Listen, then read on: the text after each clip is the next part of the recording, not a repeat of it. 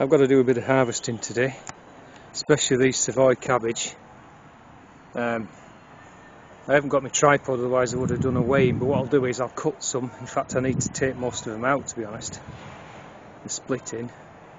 And uh, I'll take them home and do a weigh in there when I've got the tripod set up. I probably need to give that charge ready for another harvest.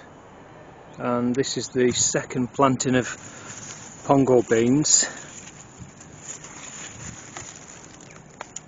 plenty on, but I'm not going to. I might take a few of the biggest, or I'm tempted to just leave them for another week before I get in there. But you can see there's loads of flowers on. Happy days. Right, so as you can see, I didn't catch. They're just starting to split. I mean, they're still perfectly edible. That one's gone on a bit more, but these are massive. January King 3 I think it is. Um, and then I've got these three here, which is uh, I've got the roots left on, and they're in. I'll show you water just for the time being. Then I'm going to put strings on round the stem and hang them upside down in the shed, and hopefully uh, that will just prolong the shelf life a bit.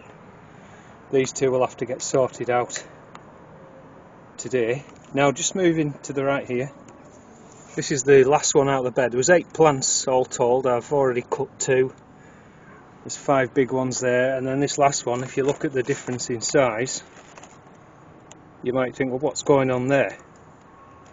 Well, let's go and find out. So here we've got a couple of roots. See where I've cut the head out. And if you look there's a normal healthy root system. Lots of fibrous root mass there. That's how they should look. Let's go and have a look at the one where the small head came off. Okay, so this is the stump where the, um, the, the, little the little head cabbage heart came out. And if you can see around here, it's all disformed.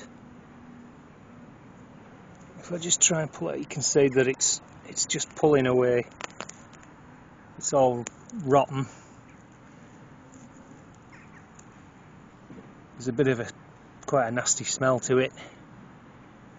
And lots of these club shaped roots. So basically yeah what we've got is club root. So what I need to do is try and dig all that out carefully. I mean I've had this in the soil ever since I got the plot so it's not a new thing. It's just something that you've got to live with.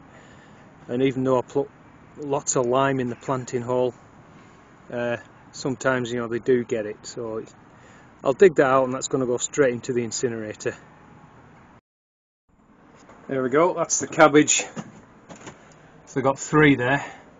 I'm up in the shed, so as I say, hopefully they will keep for a few more weeks.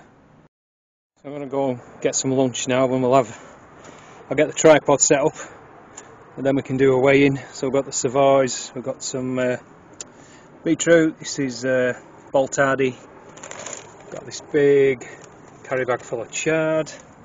These are a mixture of cherry toms and we've got the zucchini. So pretty good. Right, I'll catch you later. Okay guys, here's the first big one.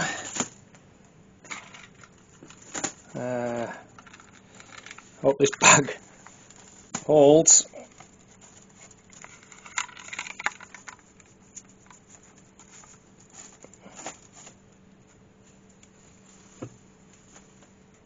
Am I right? That says 8.18, 8 pound 18 ounces.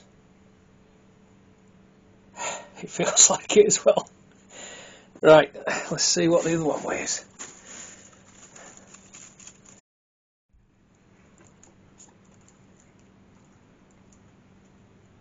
There we are guys, 6.69. 6 pound, 6 0.69 ounce or whatever that is. Six and a half pound cabbage nearly is it. Right. There we go. Some pretty big cabbages. Somebody's going to be getting fed up with cabbage shortly. Right, I'm off back down to the plot to uh, start picking the plums. Catch you later. Well, it's August the 25th and another glorious day. We've got about another 10 days, hopefully, of this settled fine weather, which is amazing for us.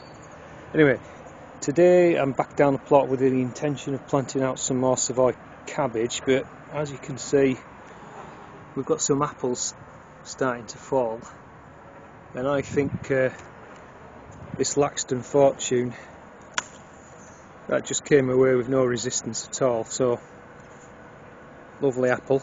I think they're ready to harvest. So the first thing I'm going to do is just harvest them so I'll bring you back. So for anybody who's not familiar with picking fruit if you've not grown apples before or anything like that when you come to harvest you just want to be given a slight, slight twist and pull. I'll show you another one. So this spur's got two on. So what I would do is support the lower one. Here just support that twist.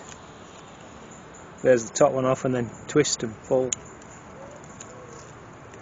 like that. So that way you're not dropping them and damaging them. There we go. So if they're ready I've got a tree of the same variety on the micro orchard there. They'll be ready too so I'll need to pick those today. But if you thin them these I thin them two to a spur you can see you get quite a large apple. The only downside to this variety, Laxton's Fortune, is that it's got quite a short uh, shelf life, about two months, and then it just starts going soft. But I'd still recommend it. As you can see, clean as a whistle, no scab, beautiful. So under the frame there, those are my next lot of Savoy cabbage waiting to go in. I'll show you where I'm going to put them. So this is where the main crop onions were, so all I need to do is just clean, there's not much weed in it, so just clean it up and then um, I'm going to move that those hoops and move them over here so I can cover them with netting otherwise you know they'll just get massacred by the pigeons and the cabbage whites but that's where they're going to go.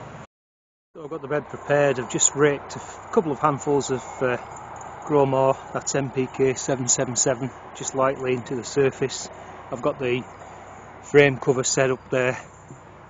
As I said, there's my plants, I've pre-soaked them. And into each hole will be lime.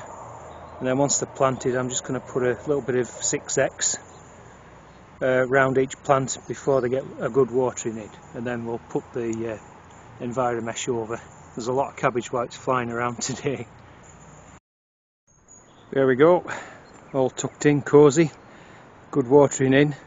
Anyway, so hopefully they'll get away to a good start and make uh, sufficient growth before uh, hard winter sets in and then they'll be we can enjoy them around sort of February March time next year. In this vacated bed, so this is where the Savoy cabbage were dug out uh, yesterday.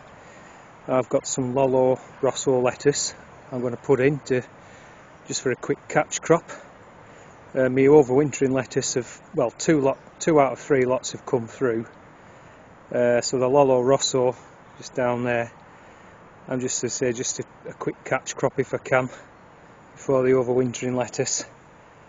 I don't like planting lettuce out in hot sunny days but needs must. So we'll get on with it. So that's about a three quarters of a bed. That's more than enough. Just give them a watering in with a